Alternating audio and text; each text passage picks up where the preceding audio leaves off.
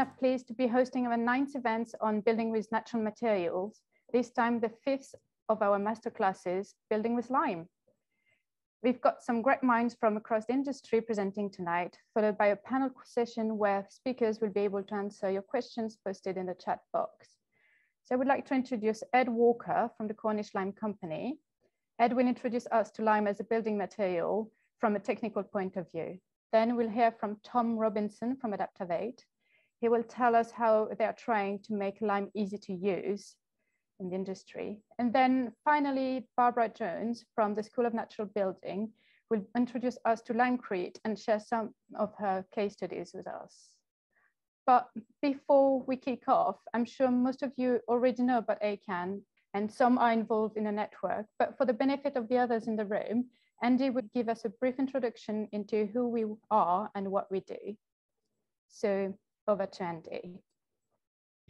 Uh, hi everyone. Um, for anyone new to ACAN, we're, we are an open voluntary network of individuals in the built environment industry. Uh, it was ACAN was formed in 2013 and has now grown into a global network of over 3,000 people. It started with a vision for how we could work autonomously as a collective of individuals in order to make rapid decisions and respond quickly to the climate emergency. Our, our manifesto has three overarching aims, decarbonise now, ecological regeneration, and cultural transformation. Uh, you can read a bit more detail about these here and on the ACAN website. ACAN is made up of many groups, including these nine main thematic groups, of which natural materials is one. Each group is made up of individuals who want to make change happen, and a couple of people from each group take on take a coordination role to help facilitate the group and any actions. You can hear more about what else is going on in the other groups by joining ACAN, and we'll share a link to the other groups in the chat box. Back to Aurora to introduce the speakers. Thank you, Andy. Um, so I would like to introduce our first speaker of the night. Um, Edd is the technical director of the Cornish Lime Company. He has worked over there for um, over nine years. Edd runs the lab that creates new materials and tests current materials and products. Edd currently sits on the BSI panels for both lime and mortar, having recently, recently joined through a sponsorship by the BLF. Um, over to Edd. Great. Um, just share my screen a second. You will see that? Perfect. Thank you. Great. So yeah, um, first speaker today, um, looking just to uh, cover some of the basics of sort of Lime, what it is, what it's about. Um, uh, as already said, um, I am uh, I am the, the technical director at the Cornish Lime Company. I am a materials chemist by trade. Um, I sit on both the BLF and the MPA technical panel members, the BLF building being the Building Limes Forum as a conservation group, and the um, MPA being one of the biggest representatives for uh, construction material manufacturers in the UK. Um, and through them, I do various sort of um, wordy legal work um, and sort of help put standards together. So, sort of first things first, what is lime? Um, there are multiple types of lime currently on the European market, and they're covered by a European standard. Um, it will become a British standard, or has become a British standard now have sort of mostly grouped into sort of two main categories. The first one is a non-hydraulic lime.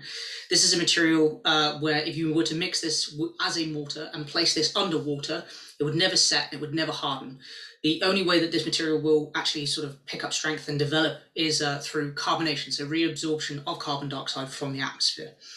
Now, hydraulic limes, which is kind of the other class within the main part of the standard, is uh, are, are, a bit more uh, wide ranging because they they kind of have a, a, few different types. The first one would be a natural hydraulic lime, or, or commonly known as an NHL. These materials are made by um, taking a uh, naturally occurring source limestone, which has a silica or a clay content. This is then cooked. Um, it's uh, put through a grinder and slaked and bagged. Um, the reason that these sort of clay and silica um, is, is necessary for this to be present is it combines with the limestone in order to give you the chemicals which then give you a hydraulic lime. Hydraulic lime having a chemical set. So if you, to, again, do you mix this as a mortar and place it under water, this stuff would actually set and harden. However, the carbonation part would still be carbon dioxide, so it's not fully set and hardened until it has had that air get to it. Um, formulated limes is another less common one, but you do see it occasionally, is basically any of the limes where you've had a pozzolan added to it. Um, I will cover what pozzolans are in the next slide. Um, and then finally, you do see hydraulic limes. Now, these are typically lime and cement blends. Um, so true lime what is arguable, it is uh, a classification that exists within the standard. Um, pozzolans are a very useful class of material. Um, they're effectively something that which will consume free lime, calcium hydroxide, in order to give a, that some of that chemical set that you might have with a hydraulic in a different fashion. Um, they're often used in, in modern Portland cements, but at the same time they can be used in heritage applications or to change the uh, the the technical performance of various types of lime mortar. Um, to sort of give you an, a, a very sorry, we seem to have lost Edd. We'll try to. Okay. Edd, um, we can't really hear you. Okay, hold on a second. Uh, yeah, we can hear you. Okay, we can hear you now. You can hear me, okay? Okay. Yeah, we can um, hear you. Sorry, I think my I think my um my camera's. So let me just go back a slide a second. Um, so just sort of very briefly covering the lime cycle. You'll start with your source limestone, your calcium carbonate. Through cooking or calcining this, you will then drive off your carbon dioxide uh, and you will create quicklime, a very exothermically reactive material which will release a lot of heat when you add water to it. Um, this will give you a an air lime in this sort of lime cycle, which will then reabsorb carbon dioxide after being used as mortar to go back to limestone. Now, the difference between a hydraulic lime and a natural hydraulic lime is that during this calcination phase, some of those clays present in the limestone will combine with the lime itself in order to give you the hydraulic part. Now, this hydraulic part will never reabsorb that carbon dioxide. So typically, the weaker, um, higher free lime content mixes do reabsorb more carbon dioxide. Um, a very brief overview of the history of lime. I mean, it's been around for in excess of 7,000 years that of just that what we know of. Um, I mean, when you're looking at sort of how lime has changed even within the last few hundred years, you start to see development of kiln design and changes in, in going from weaker to uh, stronger hydraulic limes as you start to get into more sort of civils type um, construction or anything with a harbour or, construction of the railways. Um, and I mean, even sort of Portland cement, the early Portland cements would have been no more than, than what would be modern, sort of a modern day NHL 5, really. Um, but you do seem to see this sort of um, drop in the, the use of lime um, around the turn of uh, around the turn of just after the turn of the century, where um, you you have basically uh, the reconstruction of Britain after World War One and World War Two. Um, so why use lime? First and foremost, um, it's breathable. I mean, it is a material which manages moisture, and in sort of modern or historic construction, there are various issues with with moisture management. The image on the left is uh, uh, from Dartmoor Prison. It's effectively an area where they have a thin, slender section of, of solid wall masonry where they have a gypsum plaster and a waterproof paint. Um, in this instance, the waterproof paint has just completely bubbled away and has held so much water in the plaster that the plaster has also failed as well. Um, on the right hand side, there's actually a house quite local to where I live. Um, the impervious cement pointing has prevented that moisture which has gotten into the wall from escaping through the joints. So instead, it transfers through the stone so through a process of sort of a, a freeze thaw action as well as salt degradation, the stone is actually now weathered back from what was previously the flat face of the wall. That's not actually a fancy style of pointing. Um, BRE research to suggest that dampness accounted for uh, more than 50% of all building defects, and that was a study from 1987. If you keep in mind that within the UK, um, over the last 30 years alone, there are certain parts of the UK, especially as you're going north towards Scotland, where rainfall has doubled in the last 30 years. Even here in Cornwall, where I'm based, we're seeing somewhere around a, a 50 to 60% increase in rain. So you can pretty much be sure that that 50% figure is higher now. So breathable mortars, they allow water to escape. They can help to prevent dampness. They can help to prevent stone decay. However, there are other benefits as well. Um, you tend to find that they are more flexible, having a better modulus, modulus of elasticity. This can help to reduce cracking if um, design around uh, lintels and windows are, are sort of uh, focused on to prevent um, sort of stress cracking around lintels. And it does help to improve the recyclability of masonry. If you, it's better to not have to knock a full building down and take everything to the rubble pile if you could reclaim 50 to 60% or even higher of the brick content of the building. Um, it has a reabsorption of carbon dioxide, obviously variable depending on the different type of lime. Um, and this is coupled with a lower cooking temperature than what would be a modern Portland cement, being more around 900 to 1000 degrees rather than sort of the 1500, which would be a modern Portland cement. There is lots of historical precedents, and evidence to show that it works. I mean, the, the history speaks for itself more than anything else. Um, the multiple materials available is very useful because it means that there are a, a multitude of different sort of applications and you can just draw from this wonderful palette of different types of lime, even sort of natural cements, all the way through to the the, the true sort of um, you know super high free lime content um, conservation type products. Um, and to be honest, the best thing about it is that pretty much any trade person can use it if they understand the differences between it and modern materials. Aftercare being the most important aspect. What a lot of people sort of uh, think is that they can just, like modern types of products, slap it on a wall and walk away. Um, with lime, you do need to have the aftercare because the strength development is quite considerably slower than most modern products. So to give you a very brief overview of some of the types of sort of mortars we'd be looking at on a day in, day, day out basis. Um, so you've got two non-hydraulic mortars here, a quicklime mortar and a lime putty mortar.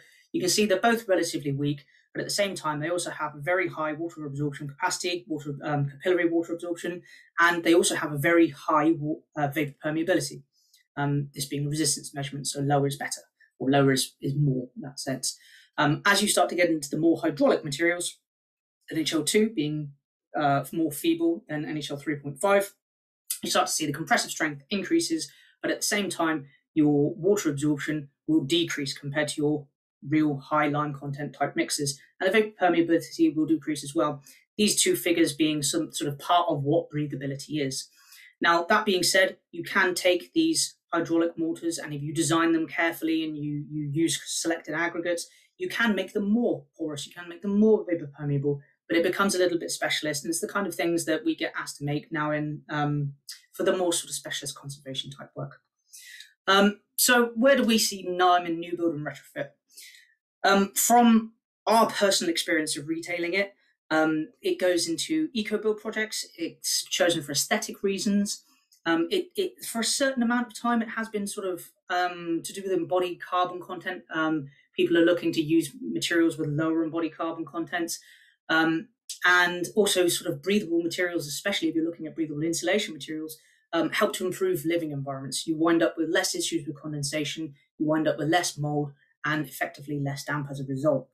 Um, the other thing, and and you know, this is a, a, sort of from the more commercial point of view, is that marketing and more availability of modern products which are lime based is a very big driver. If you put heritage type materials into the hands of a modern plasterer who's never been educated in how to use them or what the mix ratios he needs are, then it it will scare people off. Um, if you're taking somebody who's only ever worked with skim, where they will open a bag, add water, and then use that as a product, if you can give them a product which is lime based so that they can use it in a similar kind of way, they're much more likely to actually try those new types of materials.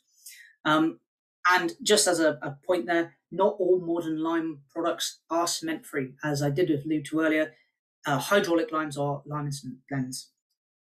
So, what's coming in the future from us specifically? Um, we do a lot of research and development. We do a lot of research and development with other companies as well. Um, we are looking for uh, better breathable insulating products. We're actually looking at a series of uh, new insulating board systems at the moment. Um, we are working on machine sprayable new renders um, for new build applications. They will, at the moment, we're designing them to be NHL based, so natural hydraulic lime based. Um, but these are the types of things that um, are going to be going through sort of like PFTG4 type machines, so mix and spray, um, sort of much more modern uh, application methods than sort of more traditional stuff. Um, we've been asked several times to make Portland free, uh, as Portland cement free, non NHL new build products. It's quite challenging. We have been working on it for a little while, but it's not there yet. Um, we are currently testing another new replacement for plastic fibers and hair, obviously trying to reduce the quantity of plastic present in materials. At the same time, hair for the, the heritage market is fine, but for the new build market is is less appropriate. Um, and we've just finished developing a, a new range of um, Portland cement free marine mortars. Um, these things are are typically a blend of either natural hydraulic lime, or they can be pozzolan and lime, or in certain circumstances, we are using natural cements. Um, the this was quite a, a, big and exciting project, and we're we're basically got to the point where we should be releasing it fairly soon. Um, and we are, you know, we're working with certain partners to look at low embodied carbon building products. Um, I do think going forwards, EPDs and LCAs will be getting bigger and bigger. There are certain government projects that require EPDs nowadays. So um, it is something that we are going to have to look at in the very near future. And then finally, um, we've been looking at new bleach and acid-free cleaners for lime. We actually think we found one now, which has the added benefit of also being somewhat biodegradable. Um, we are not quite there. We're about at the, at the, point of putting all the literature together. We think we found the product itself. Um, this is not one that we'd be manufacturing. This is one we'd be retailing. Um, but yeah, it, you know, as as a part of sort of R and D work, we will have to bring in different products to actually see what works with the products that we manufacture as well. So yeah, that's pretty much me done. Thank you very much. Thank you very much, Edd. That was great. Um, so if you have any questions for Edd, just put them in the chat box now, and uh, we'll ask that at the end at, uh, during the Q&A session. So next we've got Tom Robinson from Adaptavate. So Tom is a former builder specializing in restoration of a historic building in the UK. He studied a master's in sustainable architecture at the Center for Alternative Technology, where he developed a biocomposite board as an alternative to plasterboard. This was the start of Adaptavate. He is also an industry speaker and lecturer at his former university, focusing on disruptive business models, building physics, and transforming the construction industry. Over to you, Tom. Thank you. Can you see my presentation? All good, thank you. Oh, good. Well, I guess first of all, I hope Bee's okay. I'm sorry she couldn't join you all this evening, but um, you're stuck with me for 10 minutes. Uh, sorry about that. Um, but also thanks very much to ACAN for the uh, the work that you guys do. Um, it's really great to be part of this um, this evening's event.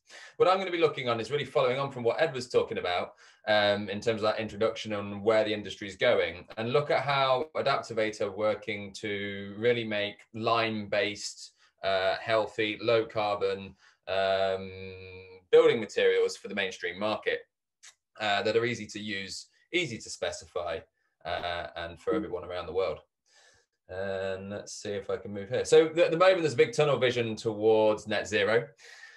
We need building materials now. We need them, you know, low carbon, cheaper, easier to install, easier to specify when we need them now. And and we have to remember when we strive towards EPDs, what actually people are meaning is they want a kilogram of CO2 equivalent per unit of whatever they're buying. And and once if we get tunnel vision at the that can really actually cause some quite significant negative and unintended consequences.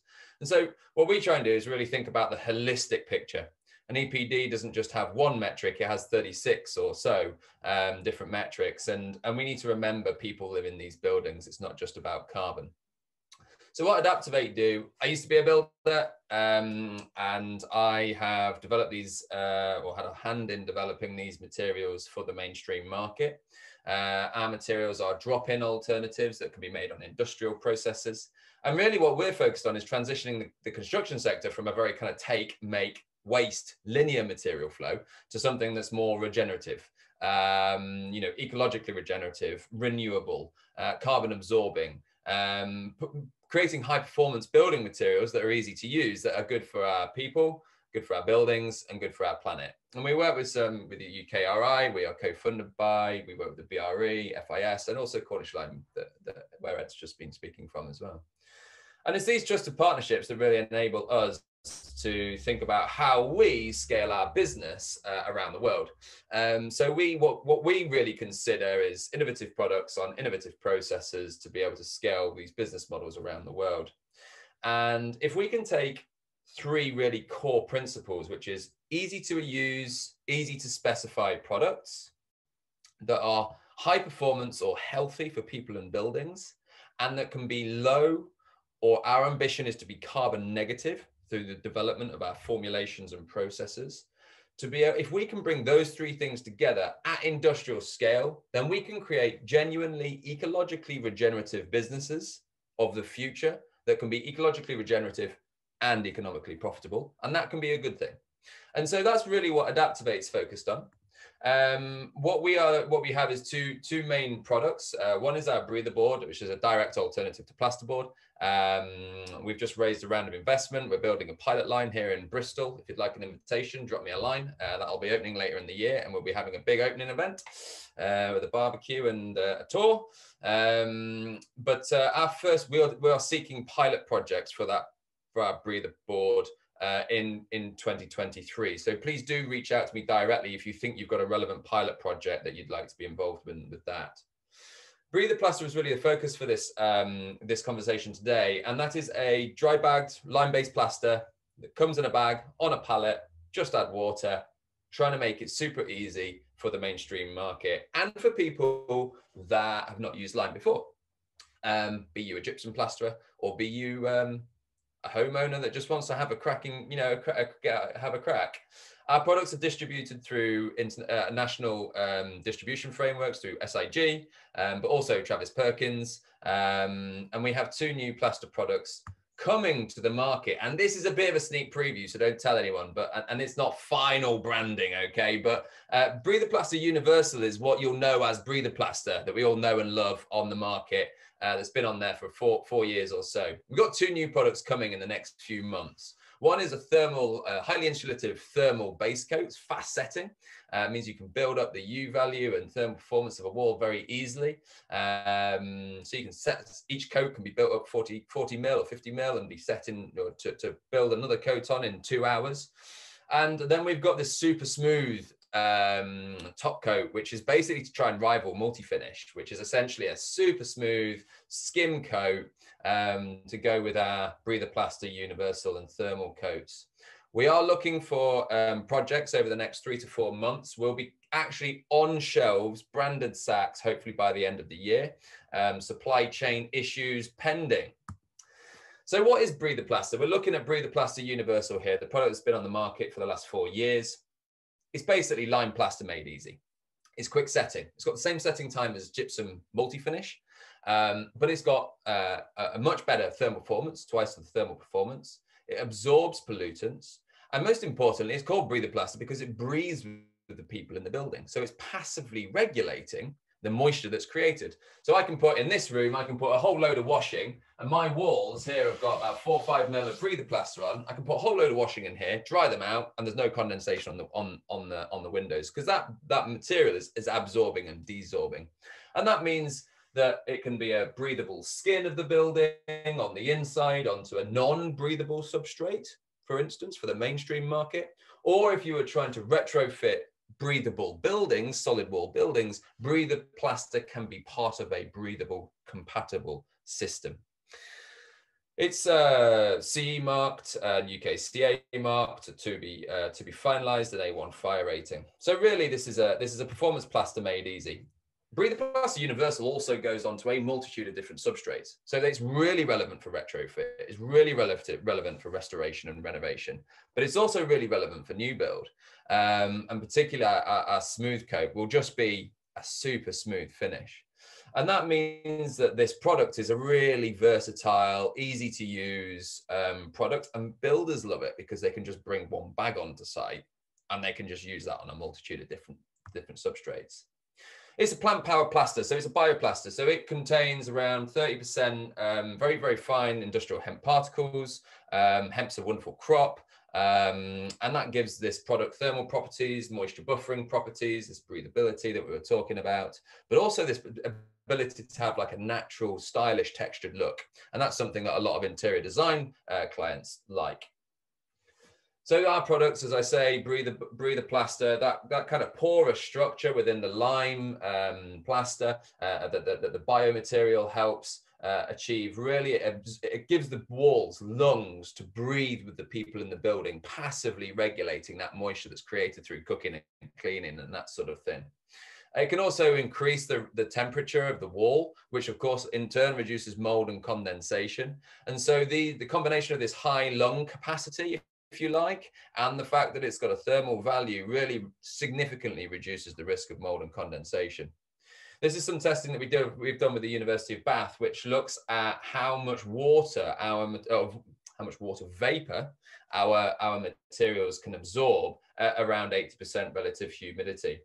we were surprised by the capacity. Um, this is a static test, not a dynamic test, but it's a, it has a significant capacity to absorb water vapor at, at high relative humidity. But most importantly, we're trying to make materials that are easy for people to use. And so you get all the performance of lime, you get that breathability, but you have to have, make it easy for people.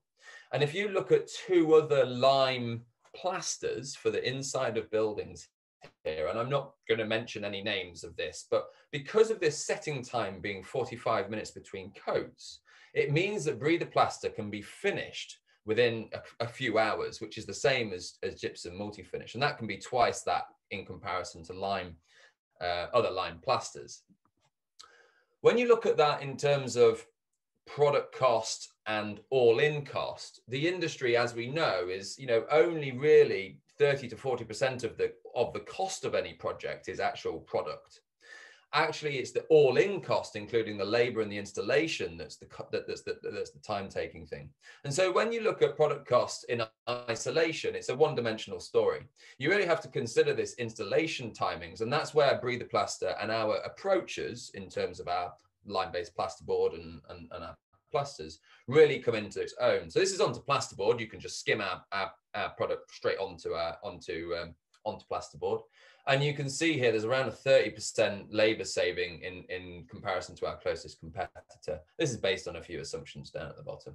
If you then look onto masonry wall, again, you can get a really significant 30% saving here um, in comparison to other products. And that's for the kind of more retrofit um, arena, uh, where, of course, speed of time on site is a big key driver. And this is a massive driver for people like housing associations um, or homeowners that just want to get retrofitted uh, as quickly as possible and back into their homes. So it's not just me saying this. There's a bunch of people around the country uh, and the world that have used our product in lots of different applications, Victorian townhouses, beautiful listed properties, um, builders and plasterers that have only ever used multi-finish that just pick our product up. It's been used in some pretty cool projects that are super high end, but done by developers and, and large contractors, um, and then covered by some interesting magazines. Um, this is that project in Mayfair, um, which we really went for a textured natural feel on this one. It was really about telling a story about the plant power plaster and the hemp coming through in, into the, the fabric of the building, connecting people back to that third skin of the building, um, which is so important, of course, our shelter. This is COS, there's a clothing store in, in Antwerp and, and around the world. They use our plaster. This is a high-end high-end project in Frankie do lots of high-end ironmongery for the uh, London market, and then you know heritage uh, restoration projects that are a, higher end, and then you've got your sustainable eco builds. It's a project in Israel. Um, they um, you know they're using hempcrete blocks, and, and our product is also compatible with with hempcrete. So it's been used in a bunch of different applications. Um, this is a, a whistle top st stop tour. Um, I think, uh, I hope um, people can see that the work is about collaboration with partners to be able to it's a two-way feedback loop as well. You know we're willing to and happy to talk to people about how we can improve our offerings um, to you guys. Um, and if you would like to order a sample box to see a bit more or get some more technical detail please phone us uh, or, or order one at info at adaptavate thanks very much for the opportunity Thank you, Tom. That was fantastic. Very much looking forward to seeing your product uh, taking over the world. Um, next, we've got Barbara Jones from the School of Natural Building. So Barbara is the founder of the School of Natural Building, and she is a trained carpenter uh, and a joiner, as well as an expert in straw construction. She's a fellow of the Royal Society of Arts. Barbara was awarded both a Lifetime Achievement Award from Women in Construction and UKRC Women of Outstanding Achievement Award. So um, over to Barbara. Great, thanks, Aurora. And uh, I'll just share my screen quickly. And uh, that's it. Okay, can everyone see that? Perfect, thank you. Okay, well, thanks for that intro. Um, unlike uh, the previous two, I'm not a product manufacturer. I'm a a sort of Jill of all trades, if you like. I'm a, a, a builder, I'm a trainer, I'm a designer and a consultant. And um, I've been working with Lime for a very long time now, but at the other end of the scale, if you like, I'm just delighted that um, Cornish Lime and Adaptavate are going so far into the professional application of Lime because that's where we need to go. I've worked uh, an awful lot with self builders and with training on site and novices who've never worked with Lime before to get really quite exemplar buildings um, uh, finished using people who who are not professional plasterers. So I'll just, um, I'm, I'm going to show you quite a lot of pictures and uh, talk a bit about how that journey has gone over the years. So first of all, um, how long have lime renders, mortars and plasters been around? I know you've already heard a bit about this from Edd, but um, they actually go back further than you might think. So there are examples of lime being used 12,000 years ago. And so it's, it's a really tried and tested material. So all of those qualities and benefits that Tom was talking about to do with Adaptavate are, to, are connected, are the same qualities and benefits that all lime plasters have, unless they have um, particular sorts of modern additives put into them. So the what what I've tried to do is stay with the simplicity of the original types of lime and use those for the buildings that I've been uh, involved in. If I can get it to move on. So lime was used by all ancient cultures and it was used for floors, for pavements, for mortars and renders and plasters, and particularly used for waterproofing in aqueducts and water tanks. So I think it's really important to remember our history and to remember that we're talking about something that has been used in ancient and traditional and heritage buildings as well as in modern buildings and urban buildings and the um, industrial revolutionized civilizations. So throughout its history, it's been used predominantly for most of the most of the buildings in the world will have had some sort of lime on it. So just going back to the Greeks, who we know very well from um, as engineers and builders, this is this is one of the oldest still existing Greek structures built with lime mortar and with lime renders and plasters. They, um, the plasters aren't there particularly anymore, but the lime mortars definitely are. So we still have in existence buildings that are 2,000 years, two and a half thousand years old and still going strong. That is testament to the durability and the longevity of limes. Sorry, my slides aren't moving on as I would like them to. This is, this is one of my most favorite buildings in the world, the Pantheon in Rome. Again, built um, 2000 years ago, still there. You can go and see it. It's massive and it was centuries before anybody could build anything this size uh, with cement. With cement, it's not, it, it was, it took an awful long time for them to be able to build something like this with cement. And um, the geometry of it is exquisite. And they, they've done it by using different types of lime and different types of additives, pozzolans at different places in the building to deal with the weight as you go up high. But lime renders can be used on lots and lots of different substrates. So here we've got an example from the Weald and Downland Museum, which is a fantastic place to go and look at older buildings.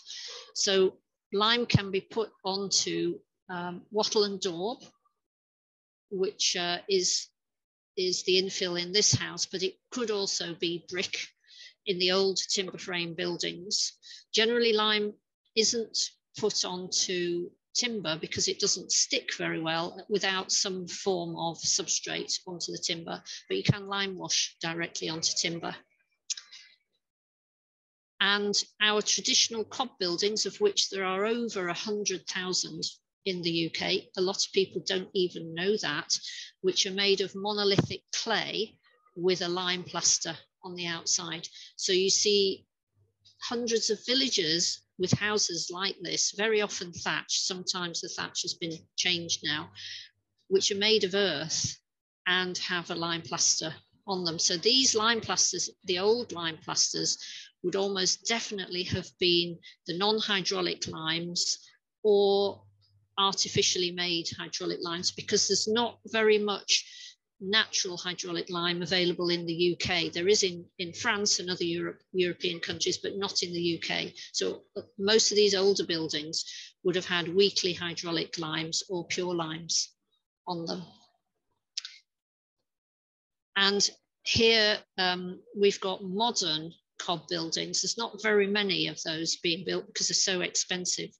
But um, um, what's his name, McCabe, Kevin McCabe has been building some amazing ones.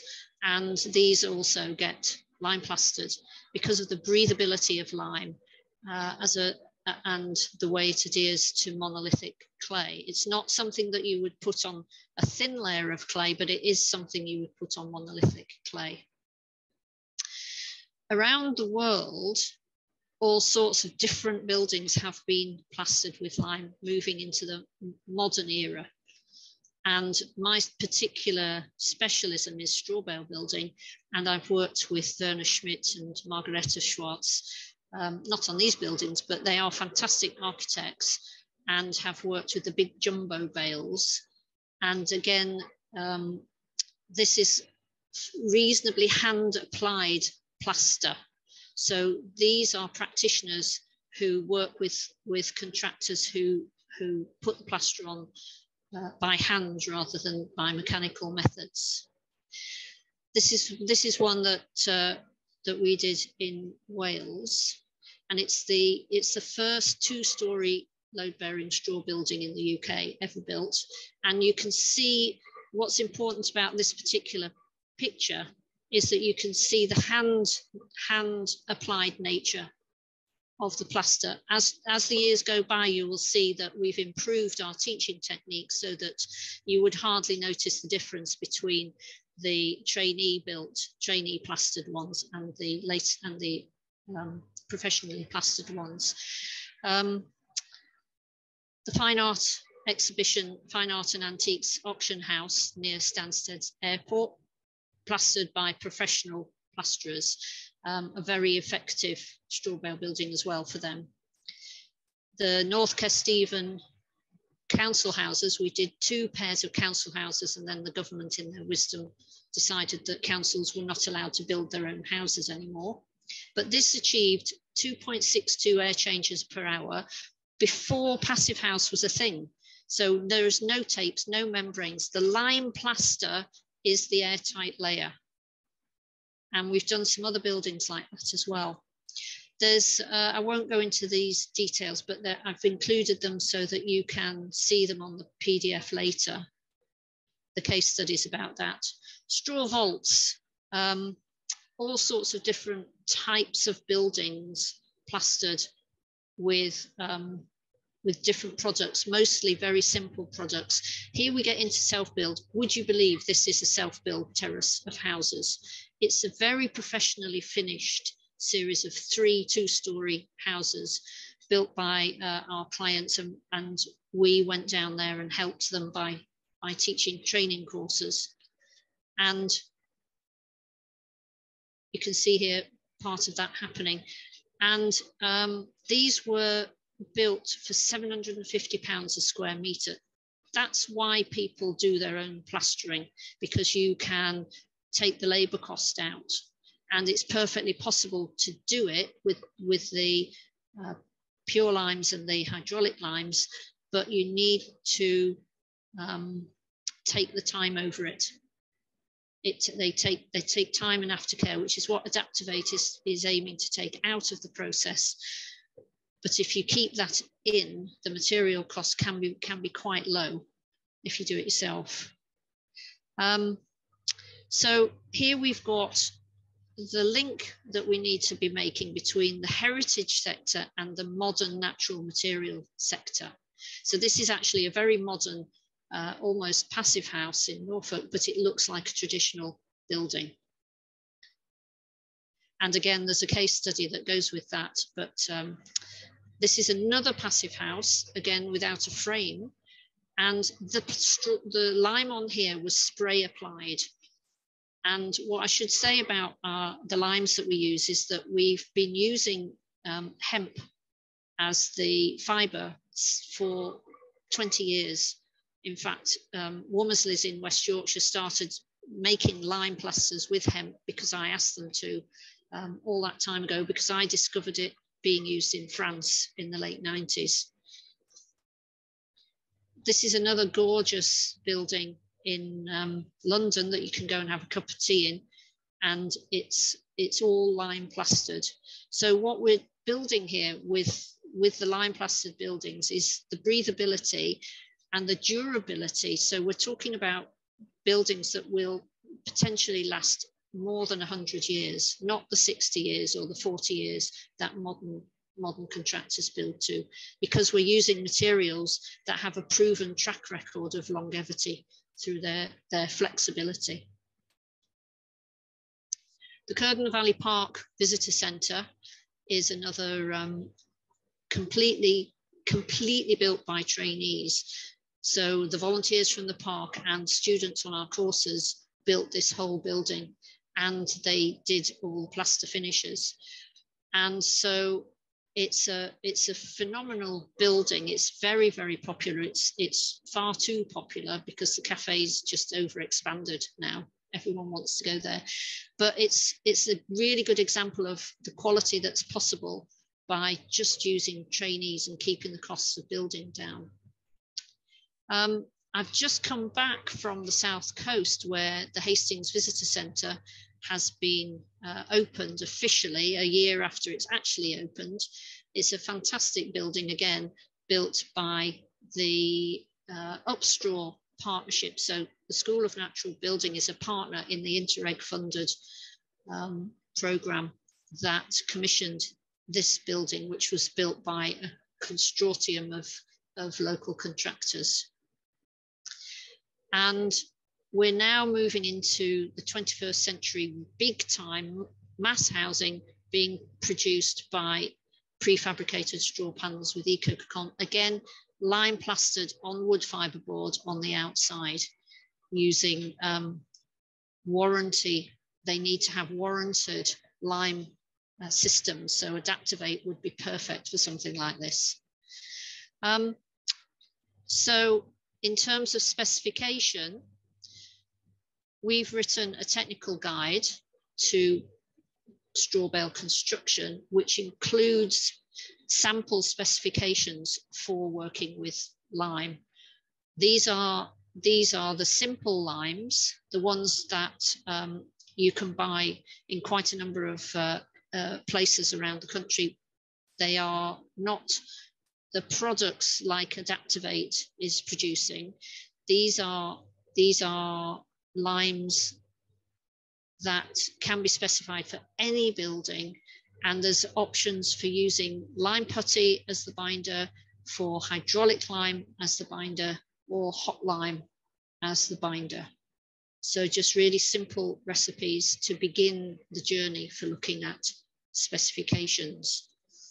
Um, I know that a lot of people were thinking about, have been thinking about limecrete as well. And I did mention that right at the beginning that lime has been used for pavements and for flooring for a very, very long time. The Romans were expert at using lime. We nowadays call that limecrete, and it would be made with a, a, a strong natural hydraulic lime, an NHL 5.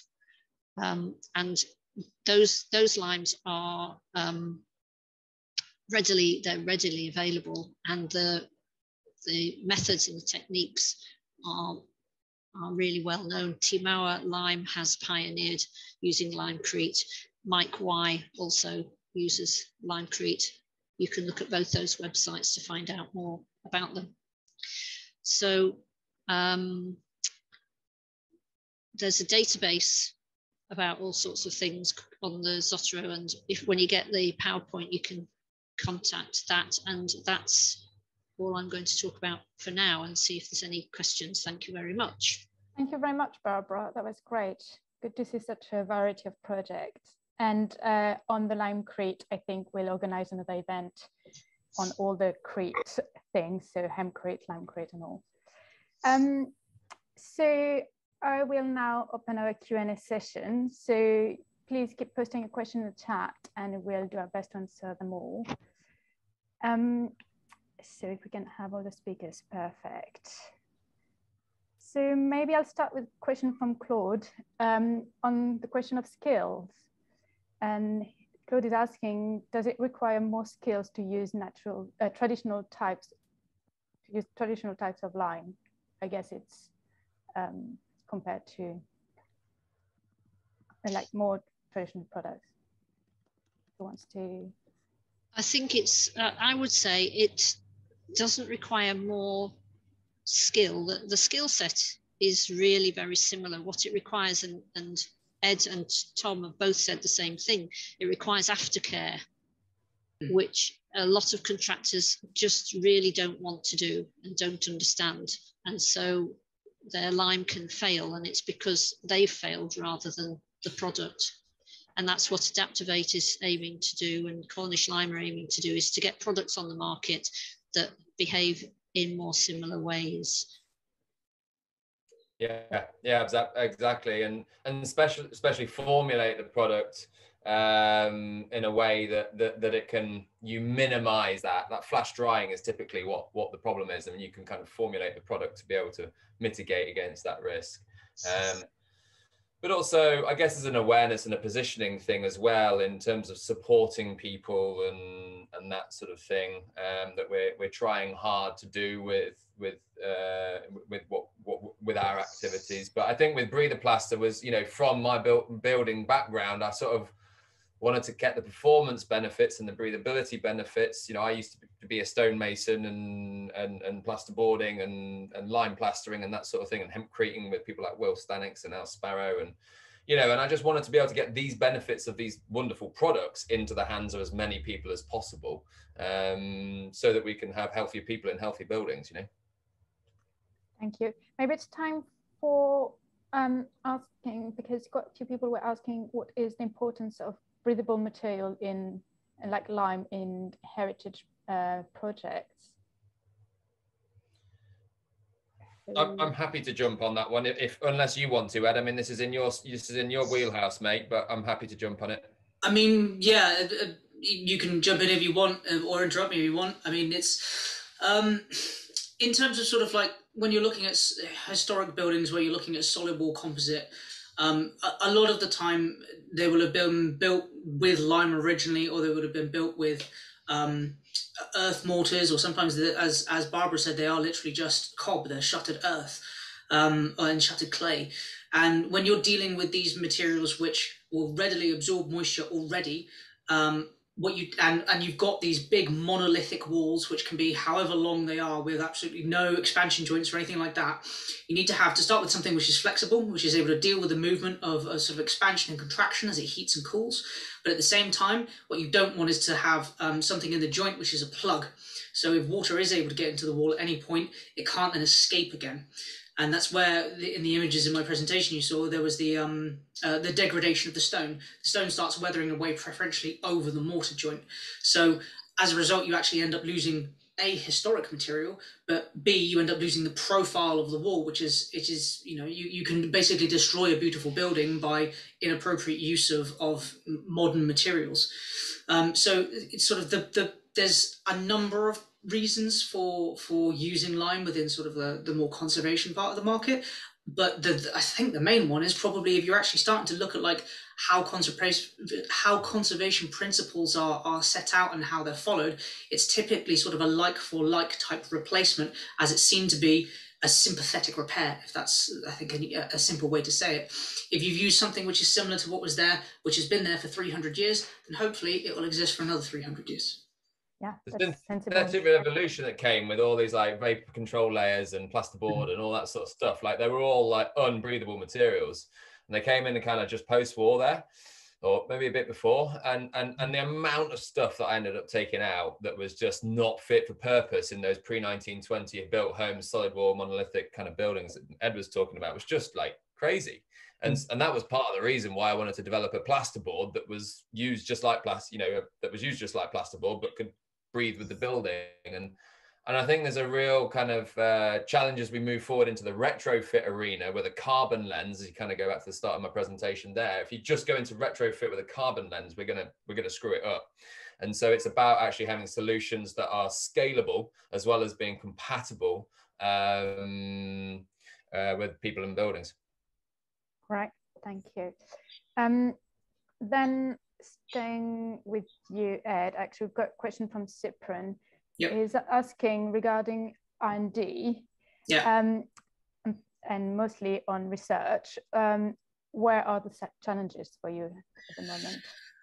So, um, in terms of research side of stuff, because you have us more for research than development side of stuff, the development is is not so much of a problem. It's find a problem and I, I make a solution for the problem, whether that problem be for a, a thousand year old building or whether that's a modern product for a, looking at a more modern market.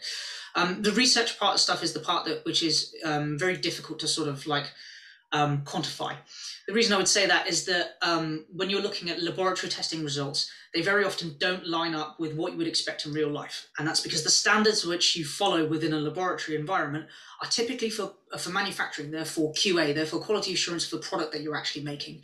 So as a result, if you test a, a bar which um, you've taken out of a steel bar mold for a compressive strength test, it will give you a measurable figure, hopefully a repeatable measurable figure. That's part of the QA process. Now, if you take that same product and you apply it to a wall rather than putting it into a steel bar mold, you then have suction from the wall. The suction from the wall enhance the water binder ratio, which will make it stronger. You then have somebody coming up and floating that up, which compacts it onto the wall, which again makes it stronger.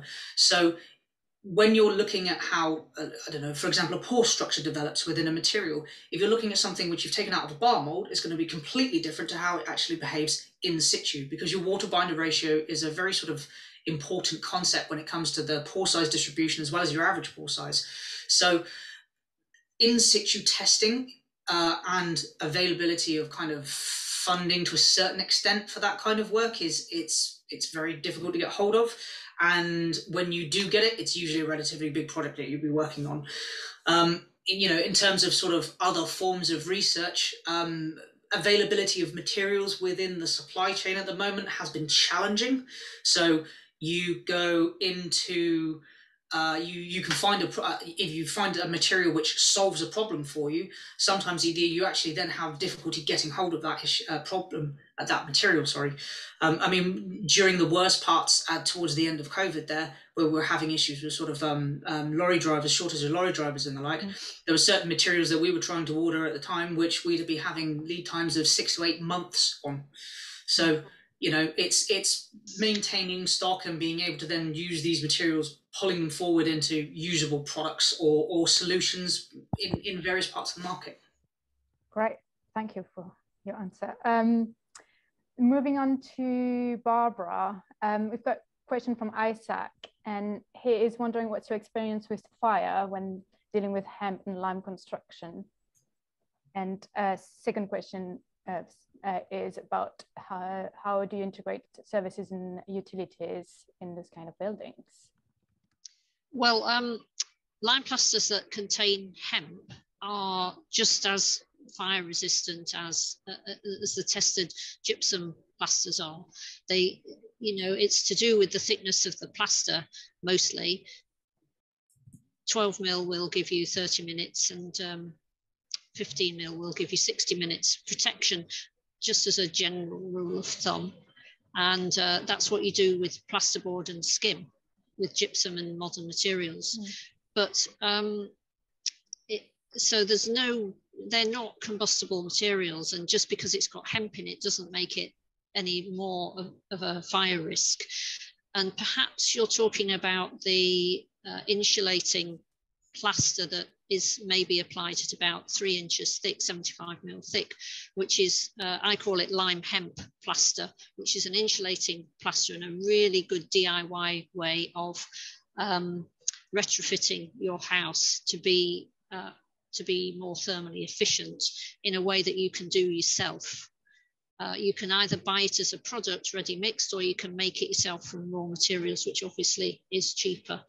And uh, that's also, it actually enhances the fire protection. It doesn't, it doesn't create fire risk. When you're doing services and utilities in the lime, it's, it's just the same as any other. Uh, in fact, it's easier in many ways to do services into a wet, where it's going to have a wet plaster than it is into cutting through plasterboard um, because of the um, having to get the holes all in the right place with plasterboard. With, with a wet plaster, whether it's lime or gypsum or, or bonding, then it covers over everything mm. once you've put it in. It's just the same. So you chase in first and then you cover? Yeah, it, it depends what substrate you're mm. going on to obviously I work mostly with straw, and so mm. we'd be putting the putting the cabling in first, and then covering it over with the, with the wet plaster, lime or clay plaster. Right, thank you. Um, then we've got a question from Justine, and she's asking how you would recommend dealing with issues such as soundproofing in modern development with thick stone walls. I guess that's a bit of retrofit. Asking whether lime would provide that or um, would you have to use soundproofing plasterboard? I expect there's some specialist lime. Um, I think Edd mentioned that, and maybe Tom, whoever want to. I think on, on this, it's it's. I don't think um, I don't think these things can sort of be seen in isolation. So one of the key pieces of work that we're doing at the moment is that the mainstream market, the kind of commercial and all those kind of large contractors, procure not just products; they procure systems, which are combinations of products. Hmm. And so all the architects on the call will know that, you know, into what your lives are like, you know, the white book or whatever, you know, in terms of what DB rating or fire rating for different particular applications, shell and core into fit out, you know, and and it's less in a domestic setting, but for new build particularly, it's all done on systems. And so it's not just a material um, performance characteristic it's actually the whole system. And that's what Adaptavate's focuses on next year is about taking our products and putting them into systems for it making it easy to specify with confidence in particular applications. For instance the big ones are sound and fire. And it's not just a material property necessarily um, uh, you know, it's as Barbara kind of said as well. It's it's not just the straw or you know, um, or just the lime. It's it's how those things kind of go together as a system. Um, and what we're really focused on is trying to take our kind of everyday usable materials and put them into systems for the mainstream market to to to to, to specify. Um, both for the commer- like the, the the the commercial side of it and the domestic side of it and there'll be different drivers and regulations in each one of those. Um, I hope that's answered the question a little bit, Justine. Yeah, I think I wonder if someone wants to touch, touch on like maybe um, lime renders with cork aggregates and things like that are, are, quite good, I suppose, for acoustics and insulation. Yes, I've actually used uh, lime with cork. Um, it's quite a weird plaster to put on the wall, and it it still feels a little bit squashy afterwards. But um, I don't know what the figures are, the technical details are, but it definitely does add to um, insulation and acoustic barriers to some extent. Someone was asking about um, whether lime can't find the question. Lime can be applied to um, wood fiber boards, which I suppose would be good also for acoustic in turn. So definitely it can. Yeah, yeah. So instead of um, insulated plas uh, acoustic plasterboard, can be a mix of wood fiber boards and a lime render, I suppose. Yeah, I I sent uh, I can't remember who it was. Oh, it's Gre Grecia. I sent her a link to our install guide for wood fiber and wood wool. Perfect. So if you're looking for an alternative um, board that's you know not Breathaboard, um, because either you can't get it yet or um, you don't want to use it, um, then there are other boards available um, that are alternatives to plasterboard. And uh, wood fiber board and wood wool boards are really good ones, and, and Cornish lime stock them, and um, particularly the wood wool boards. And and there's, again, it's a specification guide to a system. It's how the board interacts with the plaster. But absolutely, those those two things are very compatible. Good. I guess that answered the question. And then um, I'm aware we're over eight o'clock, but just a couple of questions to wrap up. Um, got a question from Elliot, interesting regarding the possible use of lime mortar and brick to build a wall without expansion joints and would even lime not be able to expand and contract and or, or would even lime not be able to expand and contract eventually and fail eventually and he says it here he is hearing lots of contradictory information on this um wants to yeah, I already answered that one in the yeah. chat. Um, we've just got we've got loads and loads of examples of miles and miles of wall built with brick and lime mortar and no expansion joints. They're very old and they're not failing. Yes, you can do it. And it's a much more beautiful finish than seeing a modern building with those ugly expansion joints every three meters. Yeah, absolutely. Um, right, I'm going to ask one last question from Debbie, and Debbie is asking you, what development in Lime do you see as a potential, as potentially having the most impact for mainstream construction? That's a very broad question. There's so many. There's the thing is that lime lime is not just this single thing. You have you have everything from your your ultra flexible, very high reabsorption of carbon dioxide, um, sort of very high free lime content mixes, all the way through to your sort of borderline like early Portland cement, sort of very very eminently strongly hydraulic natural uh, naturally hydraulic limes in this country. So the kind of the spectrum of materials there means that there's I don't think there's any single thing that you can kind of point because it's going to be you know it's going to be different things for different parts. I think probably the the biggest development that I could see going forwards would be an improvement in the education of the yeah. people who are actually using the materials. The more people who know about them, the more people who know how to how to use them, the more that people that understand the limitations, but at the same time understand the benefits uh, of the different types of material. That's the point where we'll start to see mass adoption or, or much larger adoption, in my opinion. Yeah, that, so that brings me to Blanche's comments. Who Blanche is a student at the Bartlett, and she would like to get the Bartlett involved into Lime. So I think we need to put all of you in touch with her and um, bring Lime into universities. Sounds good to me. Start there. Yeah. Perfect. Just, could I answer that question on Lime and, and the future of it, just very yes, briefly? Sorry. I know everyone wants to go and have their veggie burgers and whatnot and a glass of wine probably if you're not already doing that but um so um well, what we're trying to do is make exactly what Edd just said, you know, make it easy for everyone to, to use. Where I think there's some really interesting thing is actually in this carbon capture potential of lime. So lime emits CO2 when it's slaked, when it's burnt, sorry, when it's, when it's uh, fired, but then it's also really good at absorbing it. And so what Adaptavate has been funded by Innovate UK to do is to look at that accelerated carbonation. So instead of it being years, take it down to hours and days. And we've proved that we can do that in an industrial setting. What's really cool is when you combine that with um, companies that are making zero carbon lime. So taking the CO2, reducing the amount of CO2 that's emitted when the lime's made, and then putting that into forms of sequestration. Uh, long-term sequestration storage. So you can use carbon capture and utilization in products like ours that can absorb CO2 in industrial processes. But if that lime has got a zero carbon attributed to it, because you've been able to capture that CO2 at burning and squirrel it into a sequestered 100 year plus, then you've got carbon capture and storage and a utilization. And that's a meaningful way in which we can industrially scale these materials. And it's more complex than I'm making out right now. And there's a lot of carbon modeling that needs to be done to make sure it's an appropriate and scalable solution. But if you can combine those two things, carbon capture and storage in lime industry with carbon capture and utilization into commodity products like stuff like we're all doing, then um, there is a significant carbon capture potential of these materials. Um, because of course, you know, that lime is, is a cycle. Um, and so I think that's a really interesting area of, of future development. Mm. Yeah. would do you want to add anything, Barbara? Or um, well, my my area is not is not uh, major house development and commercial development.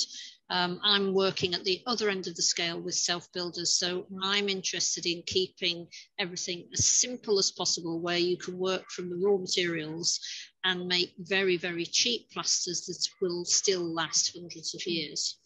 So I think there's always going to be uh, room for that community community builds are always going to have to be able to do things themselves to save money because they just don't have the budgets that the big contractors have.